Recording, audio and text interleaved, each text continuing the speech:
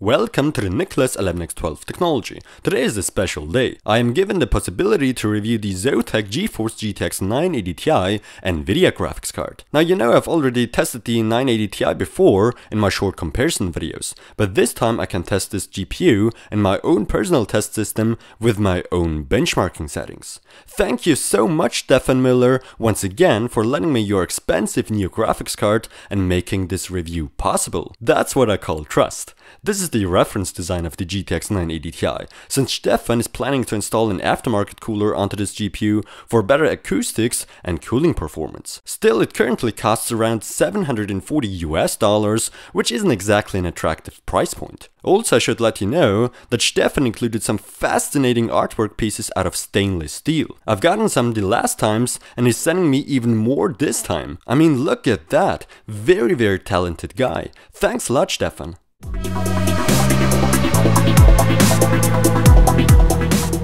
Alright, but now let's get back to the graphics card. In the box we find the gorgeous 980 Ti itself, a dual Molex to PCIe 6-pin, as well as a dual PCIe 6-pin to 8-pin adapter. Then this HDMI to DVI adapter. In that mysterious black envelope we find the quick installation guide along with the driver CD, and that's it. Once again this is the reference design of the Nvidia GTX 980 Ti, therefore no overclocks are made here whatsoever. The GTX 980 Ti makes use of that immensely powerful GM200 GPU is equipped with 6GB of GDDR5 video memory with a 384-bit bus width. The base clock is at 1000 MHz, the boost at 1076 MHz, and the memory is clocked at 1753 MHz, 7012 MHz effectively. The TDP is 250 watts, and of course the GPU is manufactured on the 28nm process. DirectX 12.1, OpenGL 4.5, OpenCL 1.2, as well as shader model 5 5.0 are supported. Right off the bat I gotta tell you that this is a real mmm graphics card.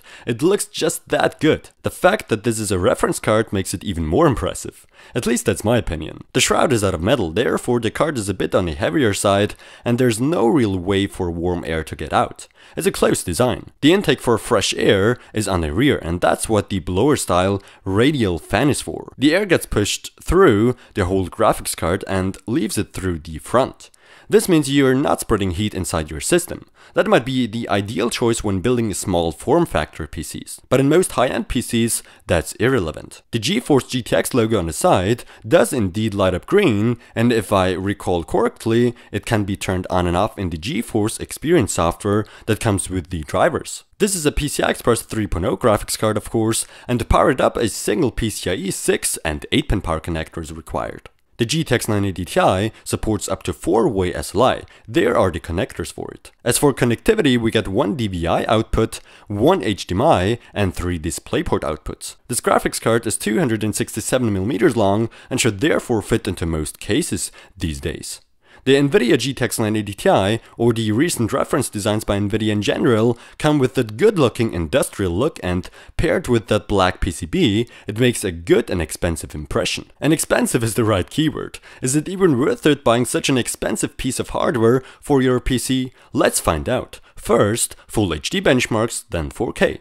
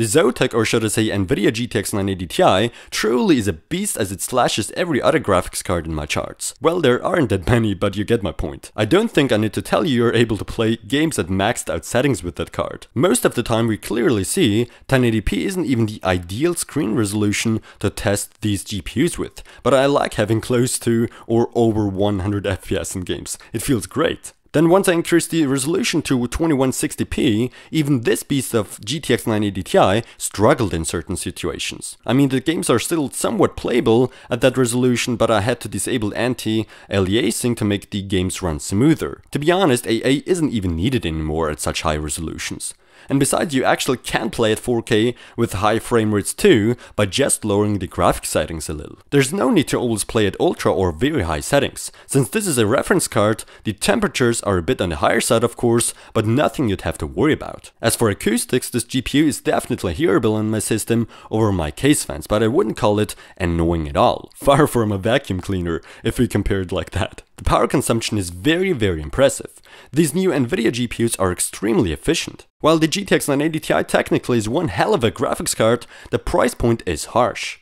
Compared to the one of the GTX 980, it's okay actually, but to be honest, one of the better GPUs for the price would be the GTX 970. Yeah, yeah, no 4GB, just 3.5, I know, but 3.5GB are not bad either. Therefore, I wouldn't call the GTX 980 or 980 Ti cards with a good price performance ratio, not at all. But if you have enough money to spend so much on a graphics card, sure, go ahead, this is a very good choice. Although I would, if not planning to go for a special aftermarket cooler, like in Stefan's case here, spend a bit more and get myself one by the popular board partners with better coolers. Performance wise, I can without any doubt recommend the Zotac GeForce GTX 980 Ti graphics card. But since the price is a bit steep on this one, I can only give it my bronze award. Still not bad. Once again, a big thank you to Stefan Müller for lending me his card and making this review possible. Thanks for watching, don't forget to subscribe and visit my website to see videos there earlier than on YouTube.